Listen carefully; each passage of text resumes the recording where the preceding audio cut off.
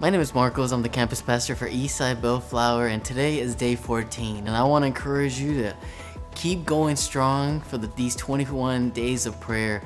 And you heard the term, two are better than one. But I tell you this, today's scripture and the Bible will tell you three are better than one. And I'll tell you, I'll tell you why.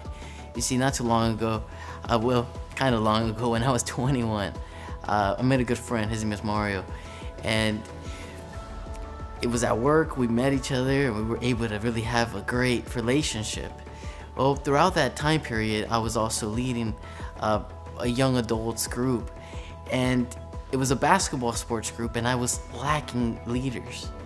Well, I asked Mario and seeing if he wanted to help me out. And when he came on board and we added in our relationship God, our experiences were not just focused on us as, a, as friends, but now focus on others.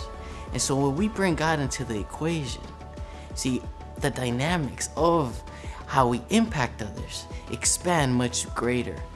And so I encourage you, think of that friend that you want to invite in your small group, invite to church, invite to do this community with God alongside. And I'll tell you, not too long ago, two months ago, we got together for some breakfast and we were talking how amazing, how it impacted our lives so greatly.